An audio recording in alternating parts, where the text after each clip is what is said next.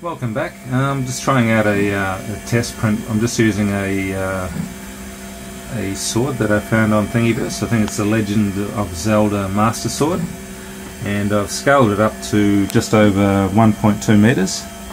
And just it's a good test piece because it's nice and flat and it's not too tall, and it's just it's good for testing how the auto bed leveling is working.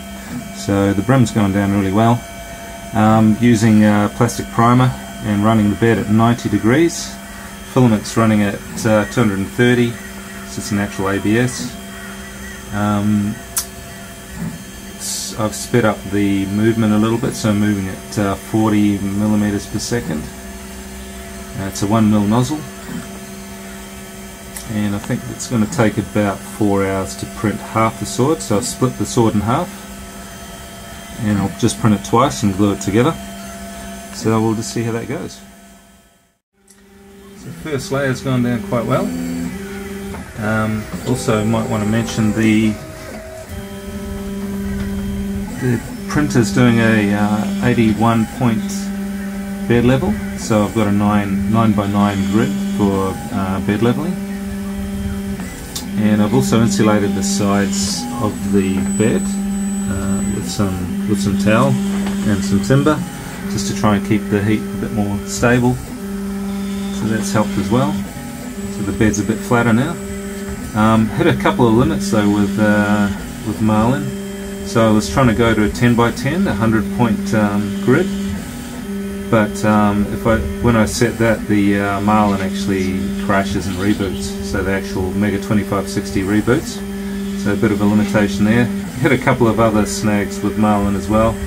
Uh, doesn't like uh, the bed size being over a meter uh, when you're moving the moving um, the coordinates around, moving the, the, carriage. If you if you go over one meter, it actually loops back to zero.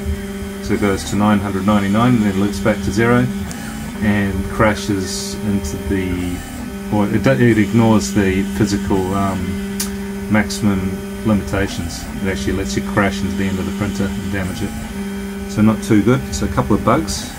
I'll probably have to report it back to um, the Marlin developers. So otherwise, working pretty well.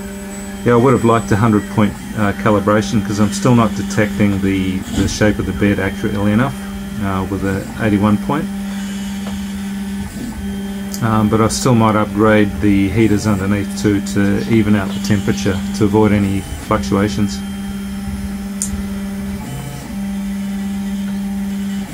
And also notice when the temperature, air temperature changes or when there's a temperature fluctuation, the bed changes shape as well.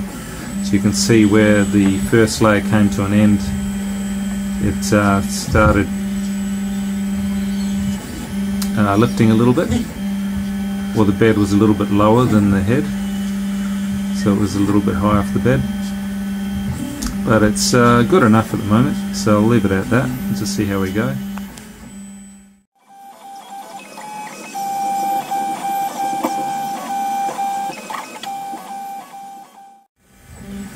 Uh, third layer